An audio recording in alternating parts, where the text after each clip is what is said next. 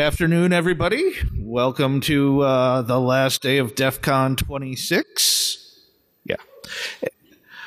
And uh, I'm assuming most of you are still waking up. Uh, but this will be a really good presentation. Uh, Yu uh, Wang uh, is going to be, or Yu Wang is going to be talking about attacking the macOS kernel graphics driver. So please give him a hand and welcome him here.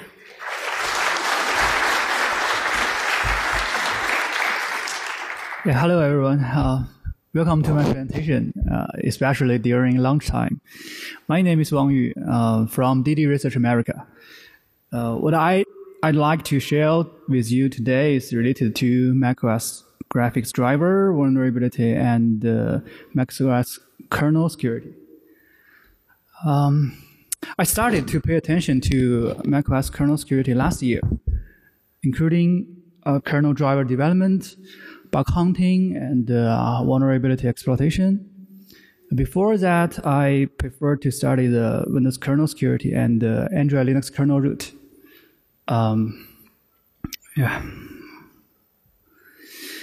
Uh, after entering the macOS kernel world last year, I learned a lot of well-known kernel vulnerabilities, and I picked up four of them as a background for today.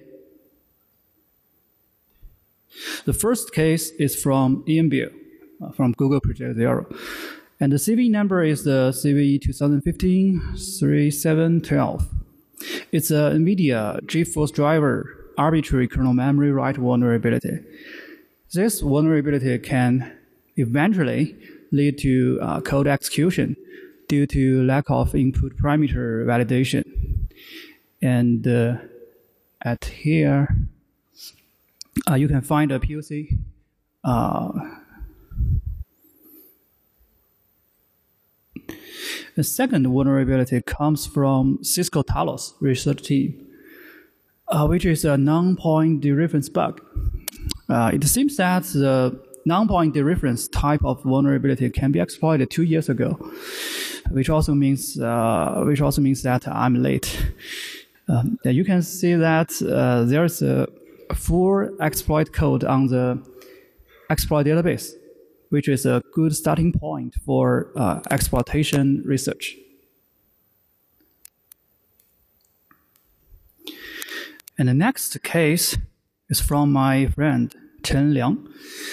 The attack surface he chose is uh, user mode graphics daemon. And he won the Pontoon game, Pontoon game uh, with this vulnerability two years ago. The user mode daemon associated with the graphics library has certain permissions, and they are usually accessible in the sandbox process. And the logic of those daemon is usually very complicated. Uh, this condition determines that the daemon are nature attack surface. And you can uh, get more detailed information from the write-ups The, last is also from KingLab. The CV number is uh, 2016 uh, 15, uh, 1815. It's, a, it's an IO accelerator family out of bounds kernel memory write vulnerability. The graphics rendering engine is one of the hardest uh, hit areas on any operating system platform. From the Win32k driver on Windows to uh, to the IO Accelerator family kernel ex extension on macOS. Um, those type of, uh, of the type of those four vulnerability I choose ranged from non-point dereference, double free and use after free to uh, arbitrary kernel memory write vulnerability, and also uh, ranged from user mode to kernel mode. Uh, this case has repeatedly reminded us that graphics security cannot be ignored. So therefore, I decided to start my kernel, Mac OS kernel research from here. And part two, part two is uh, from end day POC to zero days. When I decided to investigate the Apple graphic driver vulnerability last year, I started my research from the POC samples from EMBio, such as the uh, 2017 2443 and the uh, 2017 2489. The reason for choosing this example is that they are very easy to learn. Um, the logic of the POC code is clear, and the amount of the code is less than 100. Uh, we can take a take the first one, the the two four four three as an example. Two four four three is a kernel arbitrary code execution vulnerability. Uh, as you can see, uh, the target of the POC is uh, Intel FB client control. Uh, it's a it's a number number one in green color, and the input selector here. Uh, it's a, a, number three in, in blue color. The input selector is uh, 291 uh, in, in hex format. And then the only thing we need to do is uh, fill the input buffer with random garbage data. It's uh, number three in red color. So just this. So I think for the security research community, uh, each of us will think about how to start a new round of kernel code auditing from here. Um, after I had this idea, one of my friends told me that starting from here might be a waste of time because the binary has already carefully examined by Google Project Zero. Um, this uh, reminds me of my Windows kernel font scalar engine vulnerability presentation at Black Hat USA four years ago. At that time, Jura from Google Project Zero found a large number of kernel font uh, scalar vulnerabilities. But I can still find a new kernel, find new kernel double fetch zero days in the code that has been audited such as uh, CVE 2015 uh, 1819. So this time, I still want to give it a try. Mm-hmm. But, but then I began to feel that my friend was probably right. my, my fuzzing tool didn't have any validated output uh, on the first day. And, and even the breakpoints I set it in uh, macOS kernel didn't trigger. Um, uh, fortunately for me, I didn't give up at that time. Otherwise, I, I don't think we will meet today. um, when I analyzed the root cause, I found at least three problems uh, hidden uh, the, the work of my fuzzing system uh, without first serving uh, these problems, the whole system will become very efficient. Efficient. Um, there are yeah there are three obstacles. The first one is uh, target selection, and second one is uh, is a filter driver protection, and third one is uh, unremarkable selectors. Yeah, let me uh, discuss it, it in detail. Um, First one, target selection. Uh, there are there are many different targets on the macOS system, from kernel extension to internal classes, and uh, uh, we, we, mentioned before uh, Intel FB client control is just one of the very small branch of the graphics uh, kernel. Uh, I list some of the target drivers here. There are, there are a lot of from AMD to uh, NVIDIA to Intel, uh, and also uh, IO family drivers It's a is a uh, AMD uh, Intel is like a mini pod driver, and and the family driver is a more general uh, driver, kernel driver. And I think as a professional security researcher, we should not miss any possibility. Um, and next one is uh, most more important. The second obstacle is the filter driver. Uh, before touching the target graph driver, there are usually filter driver that protect them, which can uh, cause our fuzzing tool to fall into an effective loop. Um, in, this, in this figure, uh, we can see that before touching the graphics driver, uh, Apple Intel frame buffer also uh, uh, filter driver Apple graphics device control is defining against the malicious input for the graphics driver. Um, here is the filter driver in red line, and uh, the green line is a, is a graphics driver itself.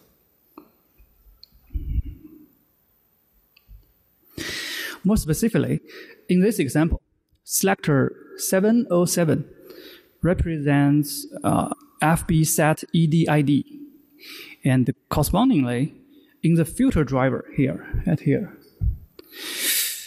if the input buffer length is not equal to uh, 408 bytes, all fuzzing attempts for the interface are meaningless. This means that if we only rely on the static analysis of the target driver and then build the fuzzing process, it's obviously not enough. We need to consider the entire architecture of the graphics driver set. Otherwise, we are just uh, wasting our time. The third obstacle is uh, unremarkable selectors. After actually getting to the target driver, I found that there are still some hidden uh, control codes or selectors. And I uh, found uh, there are also uh, the, the control code um, the control code uh, affect the inf- infections of the fuzzing system indeed these control code are important because they are the key to open the door to another world, uh, meaning that there are a lot of unknown code behind their doors, their stores. Um, after extracted all the validated control codes with IDA script last year, I found at least uh, one such key. It's uh, 80, and uh, some random data. As you can see, after entering the corresponding handler, there's another word hidden there. And after taking, uh, after taking, so after taking their small, three small steps, things quickly become clear.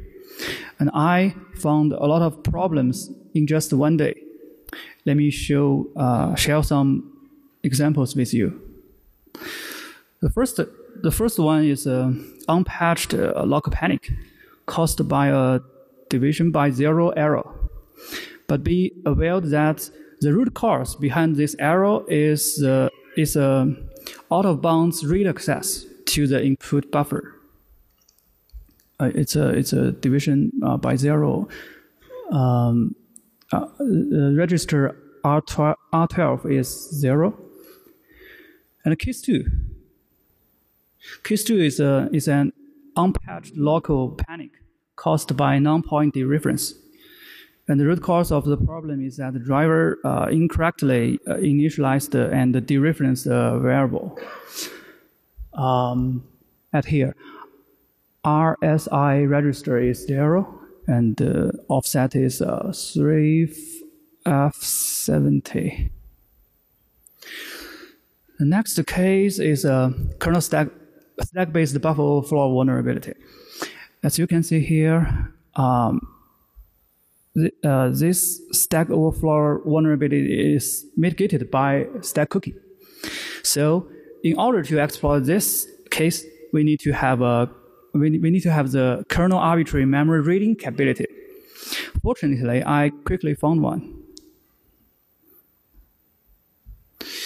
Uh, CVE 2017 13383 yeah, combined with the two vulnerabilities, we can bypass the stack cookie protection and gain kernel arbitrary code execution capability.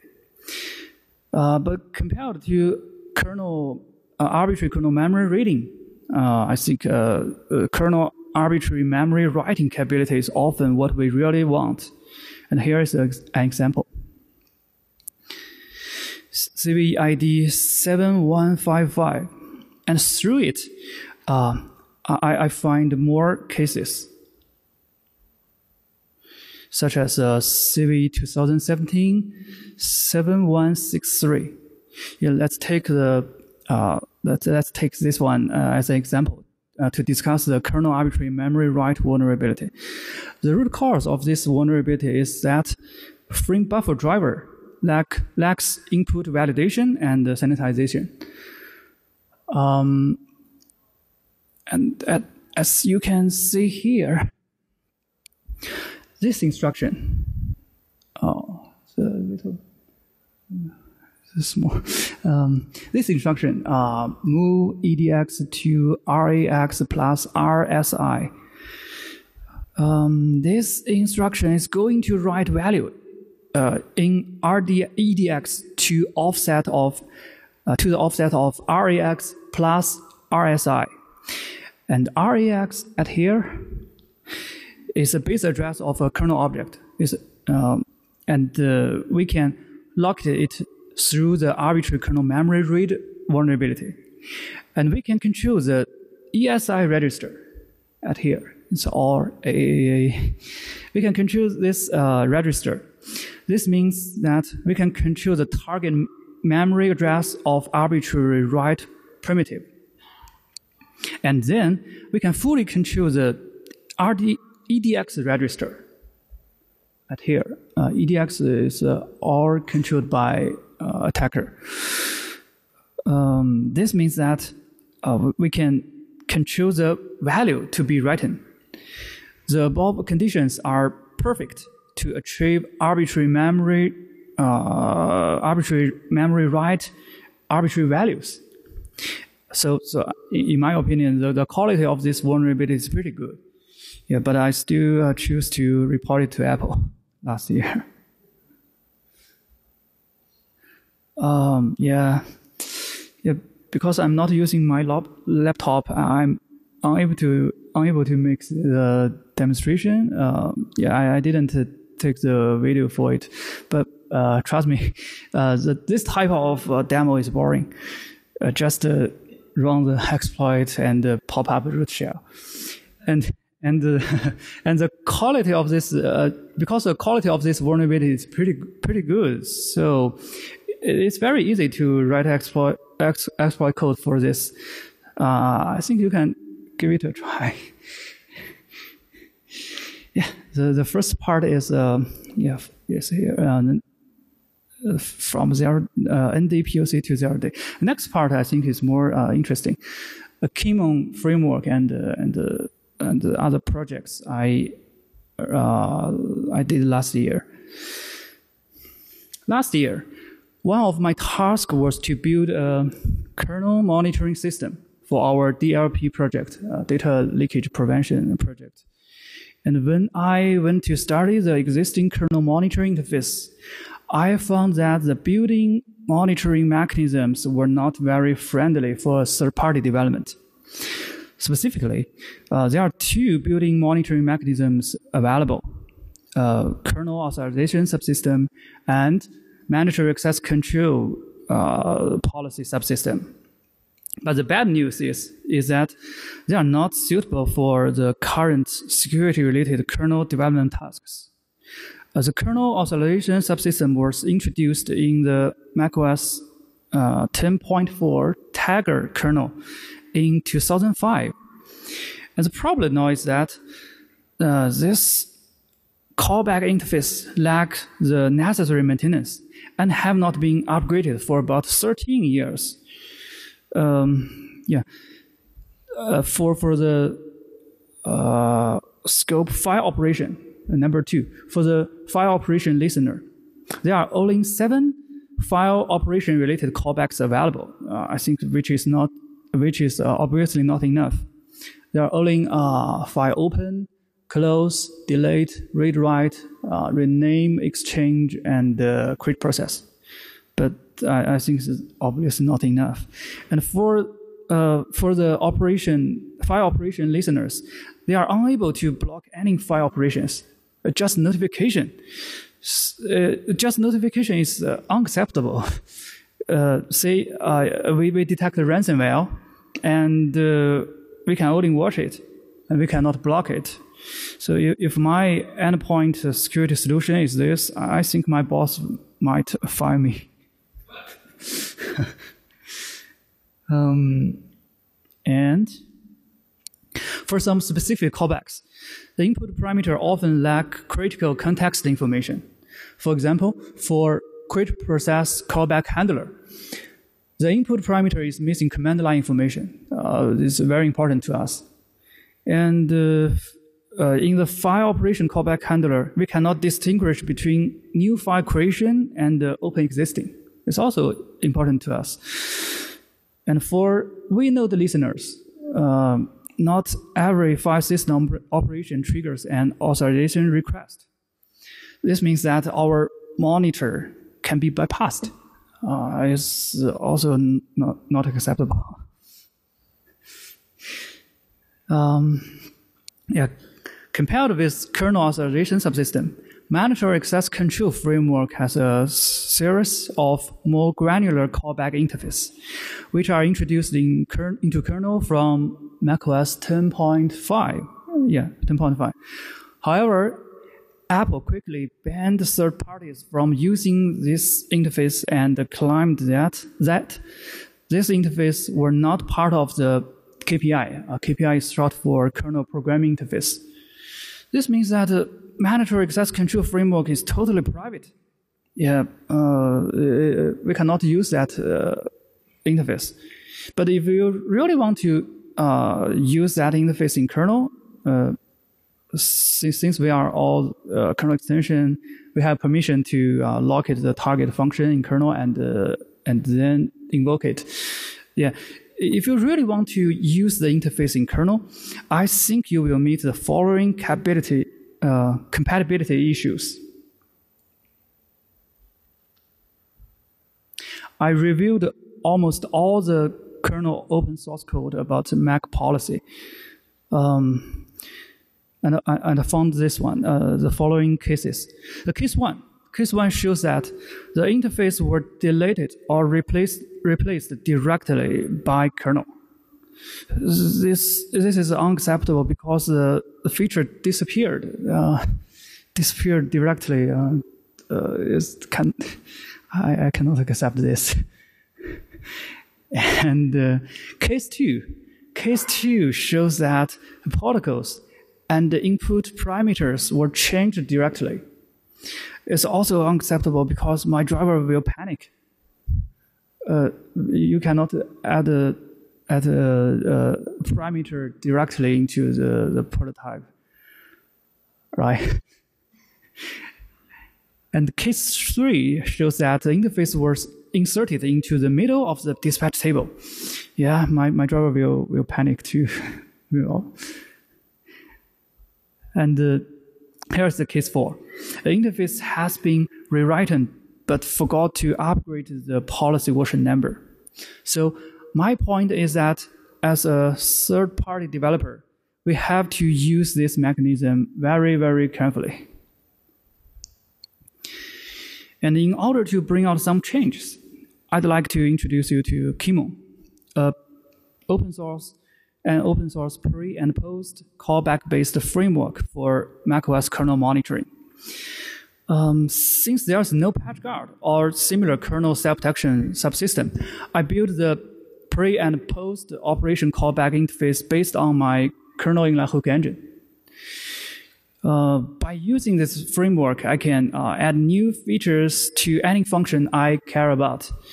Uh, the, the, the, basic, the idea of the pre and post operation callback architecture is uh, actually is borrowed from Windows kernel. Uh, generally speaking, uh, in the pre callback handler, I can filter the input parameters. And in the post callback handler, I can reset the function's return value if needed. I have two examples here. Um, the first one is, uh, is a kernel extension monitor or a kernel extension firewall. Yeah, I, I know there's a, there are similar functions in Mac mandatory access control policy mechanism, but I still want to use my own method to achieve it again. As can be seen uh, here, the first uh, line is a pre-callback handler. And in the pre-callback handler, I can filter the input parameters uh, it's it's, uh, it's small, um, such as such as uh, I can get the UID, I can get PID, uh, parent ID, and uh, uh, the kernel extension name is uh, com.magnet.monitor and the path, and also version number, uh, uh, mo- module base, and module module size. Yeah, in, this case, I use a file magnet tool. Uh, it's named uh, monitor.app as an example. The reason is just uh, because it contains a driver uh, and will load that driver into kernel. This is true.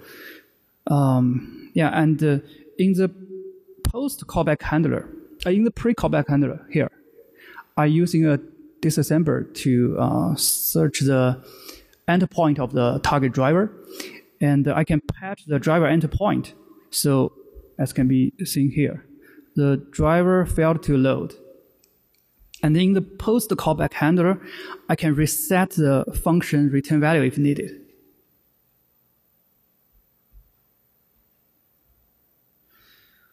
Another more interesting example in the mandatory access control policy is a mandatory access control policy monitor.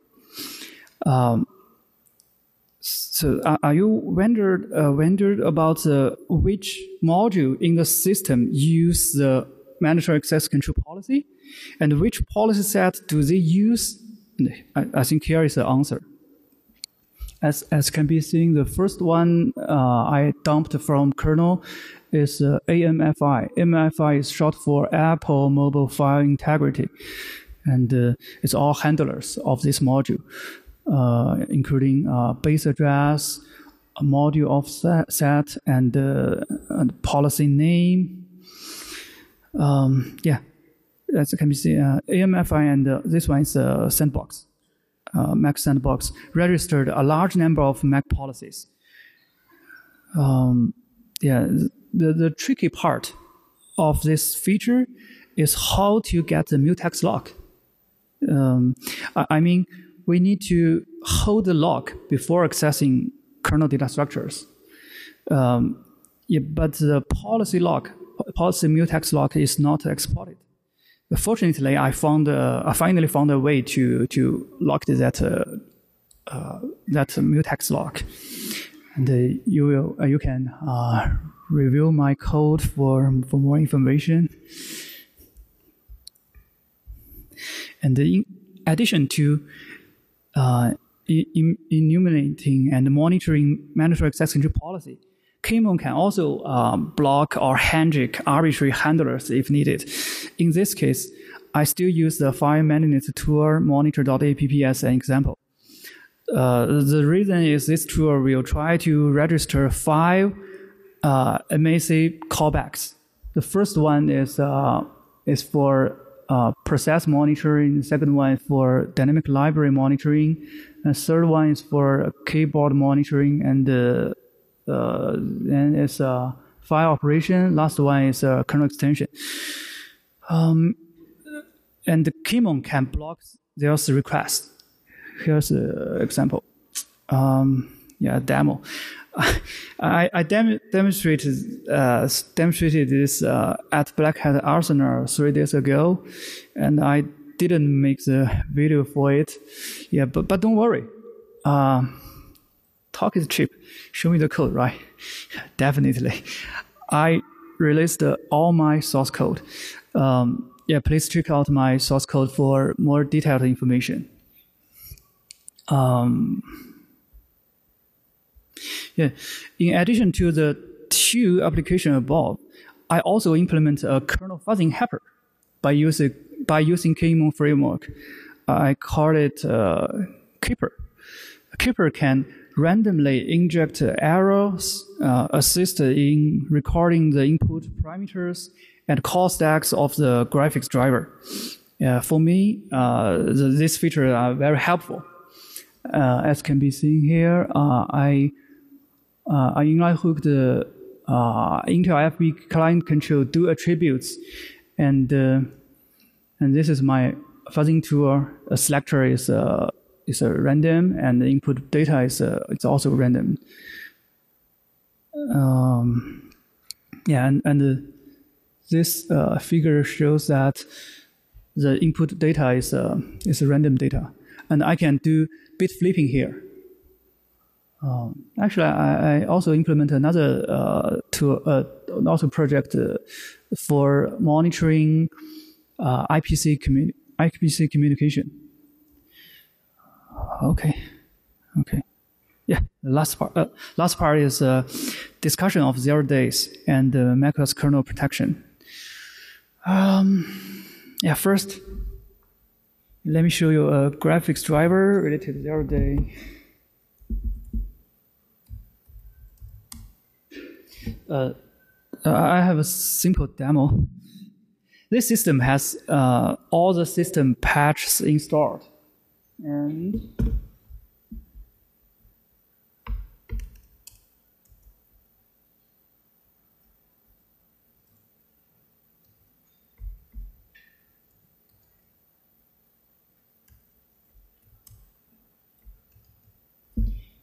and uh, after running my POC, the system crashed. yeah.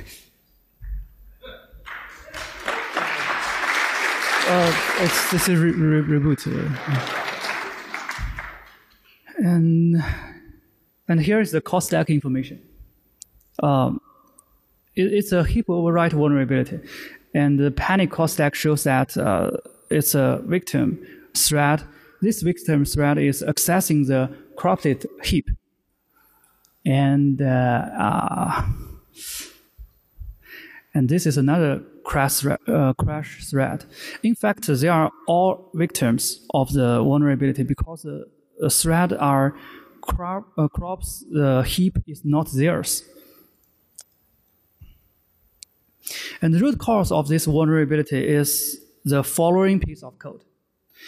Uh, let me give you some background on this code. The input uh, in the yellow color, the input is the length of my input tent data. And uh, the length of the input data should be a multiple of 10. Uh, all, all numbers are in hex format. It should be a multiple of 10. And uh, the general logic of this code is that it processed uh, one round every 10 bytes. Um, if the final length is less than 10 at here, if the final length is less than 10, the code breaks the loop. So, can you find the bug in this code? I, I find the bug manually.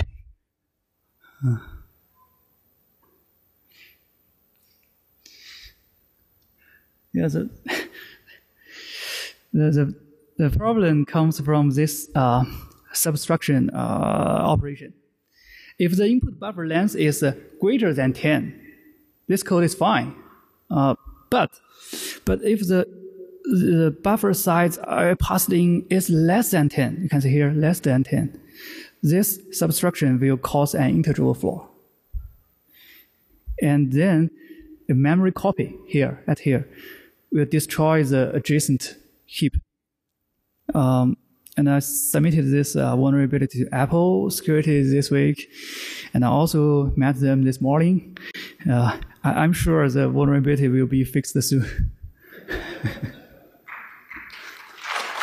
uh, and to protect against the threat from the graphics drivers, I did some extra work based on the KMon framework by using the kernel inline hook engine, I hooked up some key functions of graphics driver, such as uh, uh, do attributes interface. Uh, as can be seen uh, in those handlers, I can filter the opening and the setting operations of untrusted domain. The, the untrusted domain is uh, uh, my graphics further process. Um, so which means I can reject some uh, malicious requests. Uh, uh, by the way, I, am very much uh, hope that Apple can add the similar functionality to kernel through the uh, mandatory access control policy and or dtrace interface. Yeah. Um, yeah, it's almost my presentation. Um, we we discussed the bug hunting, uh, zero, do, zero day vulnerabilities, and the KMon open source project. And I also mentioned the third party kernel protection and mitigation. Um, I released all the source code. Uh, please check it for, for more detailed information. Yeah, that's it. Thank you, guys. Uh,